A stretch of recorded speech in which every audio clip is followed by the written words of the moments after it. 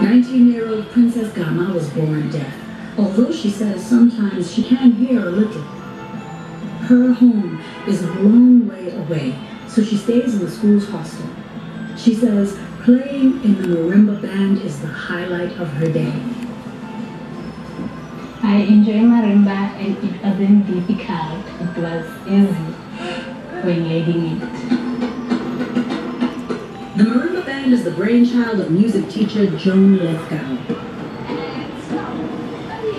Through the NGO Education Africa, she has established 12 marimba hubs in the Johannesburg, Pretoria area.